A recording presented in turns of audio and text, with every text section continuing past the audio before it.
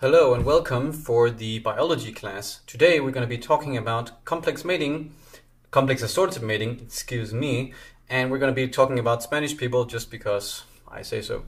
And uh, the study we're talking about is this one. It's the new study, new study that came out a month ago or so, uh, Mankind Quarterly. You can pause and read if you do want to. I'm just going to say that this uh, talk is going to be some nerdy bullshit that is not very based. However, if you are into nerdy bullshit like me, then stay along. Anyway, so homophily is the uh, like for other that are similar to yourself, the same love, so to say. And uh, if you look at humans as in a, a, network of other humans, and you can see people who are romantic partners or former romantic partners, or I guess future romantic partners, and you can look at people who are friends or uh, schoolmates, people who are somehow connected to one another, uh, friends on Facebook, uh, uh Twitter, uh, mutual follows, and so on. Right? It's not random, right? You're not really following another or connected to another set of uh, humans on the planet at random. the ones you're connected to tend to be more similar to yourself, and this is, of course, extra true for our long-term romantic partners. And um, when that happens, that is called assortative mating because uh, they tend to be more similar. And you can, of course, have a negative assortment where you tend to be more dissimilar. And this does exist for some rare traits. And maybe it's important for immune system stuff because that results in uh, an extra um, diversity in the immune, uh, in the non-adaptive immune system, the, the passive one or whatever it's called. And that could be kind of useful. And supposedly that's supported by some uh, evolutionary psychology studies, but I wouldn't really buy that. Uh, the evidence is just poor. Anyway, it may be true. Um, so it looks kind of like this if you do the an illustration. Anyway, so humans, what do we have? Yes, we have a bunch of correlations from this meta-analysis, Liu et al., and they find that, unsurprisingly, people who are, I think they're looking at either married couples or something similar, uh, the age age correlations are very high. People who are married tend to be quite similar in age despite you know your favorite example of some big famous man who's married to uh, you know some woman who's 40 years younger. That's not normally the case. Mostly the correlations are like 0.8 or so. Uh, and you can see why like most people kind of get married uh, sort of early in life like after college or like when they're 25 or 30 or so. And the people you know at that age tend to just be other people from your in your age group right? So it's really like the supply is mostly your own age group. Um, Educational attainment is uh, super um, has super strong assortative mating, general social status, income stuff a bit less. Um, 40 uh, correlations 40 to 0.6. Uh, that region attitudes like religious or uh, religious opinions, and uh, they also quite high, especially religious stuff. Uh, if you do like a kind of composite measure of political opinion or religious stuff, they tend to be very strongly correlated. Um, like 0.6, 0.7 evens. Uh, if you do like specific values, like uh, this kind of risk taking, they are less correlated. Uh, it's mostly, I think, a measurement error problem. Like these more specific measures are more prone to just bad measurement. Um, general intelligence, uh, 0.4 ish. Uh, there is a meta-analysis of this somewhere. Uh, I did a simple one with just a few studies some years ago and never finished that. Found a mean correlation of 0.45 or so. Uh, that may not sound like too much, but that is actually the same as between siblings who are genetically related. Well, very genetically, half genetically identical. And uh, mental health stuff, again, uh, when you measure it nicely, get high assortment, maybe 0.5, kind of crazies tend to date other crazies. Uh, they kind of get shunned by the other people. That's what the whole purpose of this um, uh, reducing, uh, what is it they call it? Uh, stigma is about like trying to get the normies to date the crazies and just not disassociate with uh, crazies. Uh, habitual behavior, smoking stuff uh, makes sense. Smokers tend to date each other, especially because uh, smoking people tend to meet them uh, their partners like standing outside bars smoking this sort of thing. That's a typical social initiation ritual, sort of. antisocial behavior, there's some correlations, but again, depends on measurement. If you do like some bad measurement early in life, I'm sure it's going to be very low, very high. If you do some like big survey, maybe have a psychiatrist evaluate people. Um, height is, of course, something many people think about when you're looking at dating studies, but the, the correlation for height is actually not very high because it seems to follow more of a, a threshold model where um, it's important for the man to be taller, basically, men taller uh, norms. But aside from that, it's not that important. Like someone uh, an average uh, age, uh, average height man will tend to date kind of any random woman who is just uh, below that. So the correlation is weak, but still there.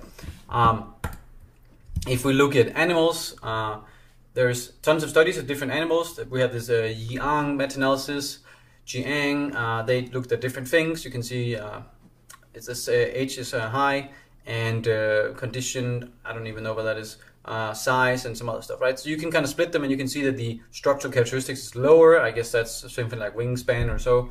Uh, someone did a specific meta-analysis in birds. It's this one, uh, Wang et al. And uh, they also, like humans, find that age uh, is the strongest one, but much less strongly correlated. Here we get, I don't know, 0.4 or so.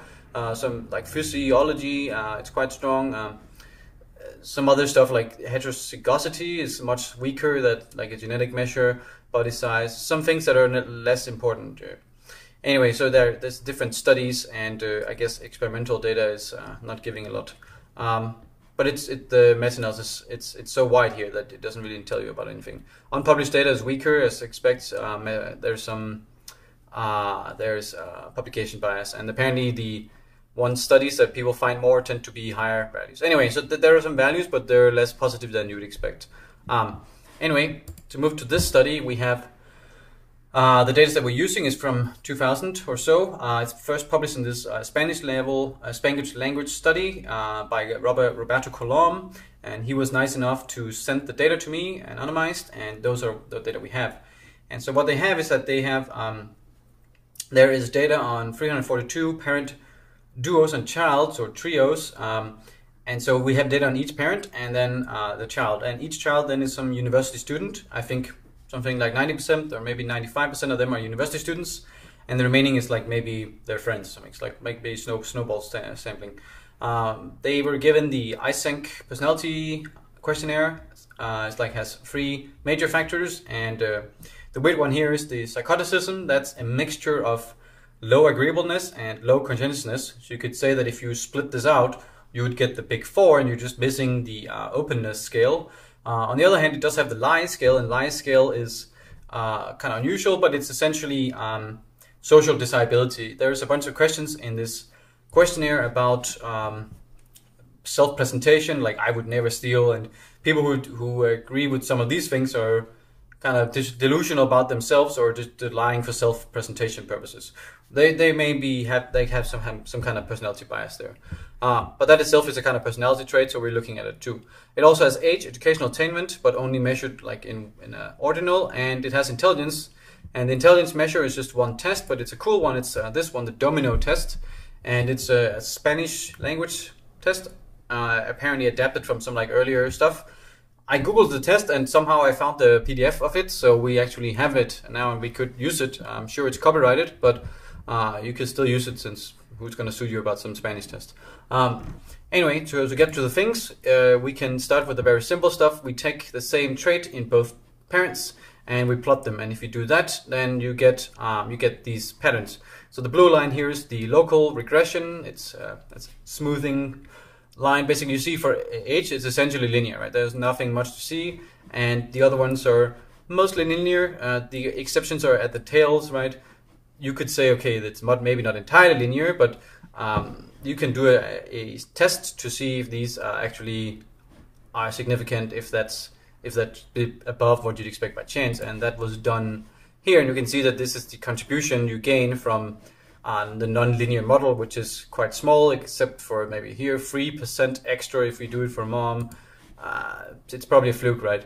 Um, if we do just the correlations and look at the linear uh, relations here, uh, we can do it across traits. So we'll see that if you look age mother, age uh, father, it's 0.81. So that's the same as this one. And uh, you can also look at, uh, for instance, here we have education assortment is quite strong, uh, 6.5. Remember the meta-analysis said it should be 40s to 60s, so 6.5 is pretty strong. Um, we have uh, for intelligence 48 pretty strong, especially considering we only have one test here.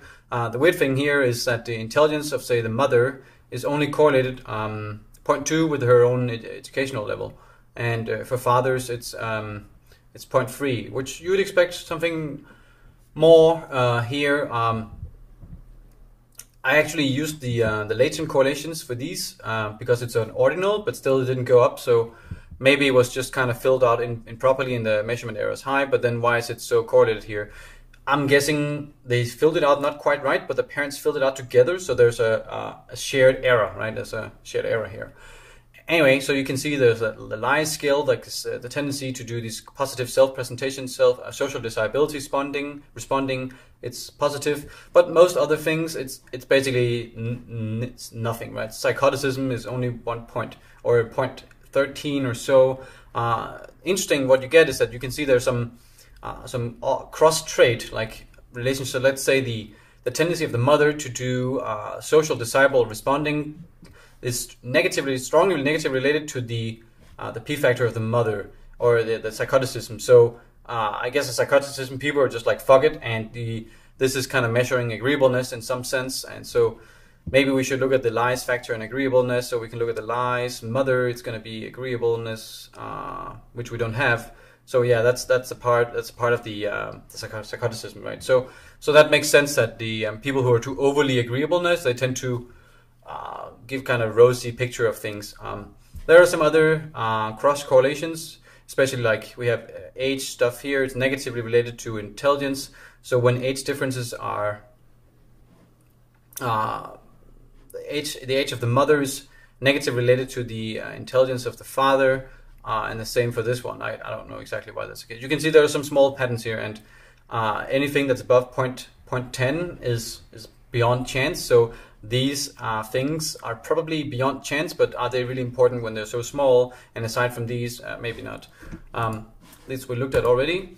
And so what we can look at also is we can look at uh, trade-offs. And trade-off is that when partners or more uh, who are more different on one trait are then uh, less different on another trait. And so uh, or more different on another trait. And so, for instance, if you have the typical hypothetical situation, the typical discussed situation. Let's say we have wealthy men get to date uh, date younger women. This would re- re- result in the correlations where uh, larger intelligence differences or income differences or education difference are also associated with high or larger age gaps. And if we look at it here, the age gap is this is the age gap, and we can see that age gaps are actually negatively related to in, uh, education and intelligence. So it's actually the opposite of what you expect from this normal model. And in fact, most of these um, uh, sort uh, the uh, the trade-offs or the anti-trade-off they seem to be not much. The only thing that really shows up is again the lie scale, which shows up with these other patterns, and that may simply reflect correlations between some of these personality traits. And you can, you can wonder, like the most interesting here is, I guess, this one maybe. Why are people who uh, partners where there's a larger discrepancy in self uh, social desirability why do they also have uh, larger differences in intelligence? Maybe one of them uh, thinks they're much smarter than they are and they kind of trick the other parent into it, but actually they're not and they're just kind of like self preserving. So they're kind of like fake it until you make it, and I guess they made it. So, uh, but for other stuff, you don't see so much. Uh, this one is simply a function of the correlations between the traits. You can, it's easy to see people, uh, marriages, couples where the education levels are more different then obviously the intelligence levels are also uh, going to be on average more different unless they kind of like tend to date people who are extra intelligent when they date down in education. Uh, but that that is not supported by the study, right? It's it's differences are larger in one than they're also larger in the other one on average, right? But it, there's not too much to see here, right? The largest is, is this minus 0.2, which is not totally impressive, right? Um, so don't really, we don't really see too much like aside from these findings. Uh, another thing uh, the reviewer wanted to uh, discuss when I submitted this paper is they want to talk about uh, heteroskedasticity or heteroskedasticity. Yeah, what it means is that the variance is uh, uneven, and the variance is the residual variance. So if you want to predict, say, the height of one partner from the height of the other ones, maybe that's more accurate in one as, as a function of the trade value. And what you can see here is that if we're trying to predict the value from x we can see that it's a lot easier down here. Over here, it's a big spread. This model is not very accurate over here because there's too much residual. Uh, down here, you can tell within a few a few value points what the uh, what value point is going to be if you know the x, but not over here, right? And, uh, the same here, we just have a, like a weird nonlinear one. And so this probably does not exist often in reality, but we can nevertheless test for it.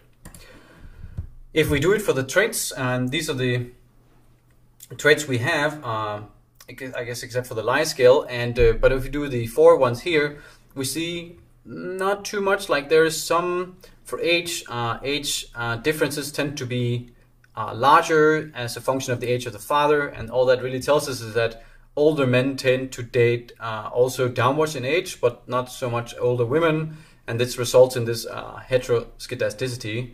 And for intelligence, you get this. Yes, there seems to be kind of a a decline here, but then it goes up here again. So it's probably like a weird fluke, and there's not too much to see here uh, for these.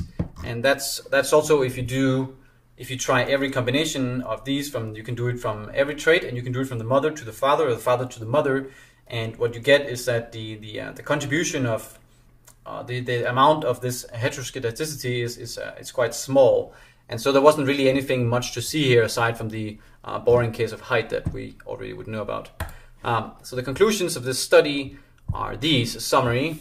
Uh, we don't really see much personality assortative mating. Um, that's exactly what other studies also find. And we don't see that when we look for nonlinear stuff, and we don't see much trade-offs either. There's some trade-offs here and there, and potentially they're interesting, but uh, they're not like they're not jumping out in your face and like screaming, "Look at me!" Right? They're not that interesting.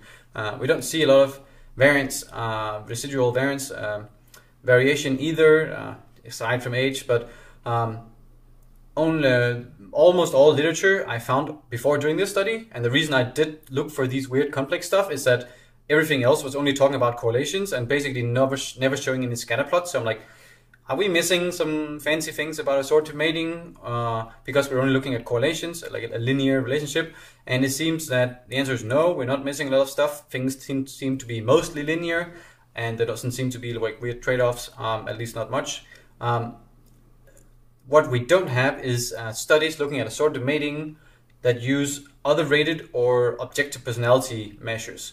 And uh, there are some for homophily, like they use the uh, say the AdHealth or something, some like student data set where you measure more than one person in, in, a, in a classroom, and you can see that you can also ask the kids how who they tend to be friends with, and you can see that the smarter kids tend to uh, be friends with each other and so on. Um, so that's a kind of objective measure of personality, but for extroversion or something, you'd expect other extroverts to be more friends since they tend to go to parties together, and the introverts, I guess, just have fewer friends since they don't go to parties.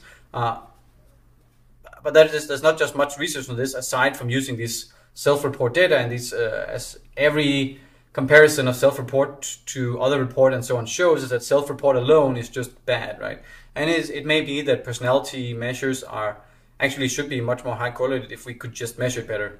Um, so there's a review post of this that I've done before. And that pretty much brings us to the end of this video is that uh, I hope that um, we're going to be having some more data sets that have objective uh, measures. Maybe we can even impute it from some other stuff or uh, something like that. Uh, but uh, aside from that, goodbye.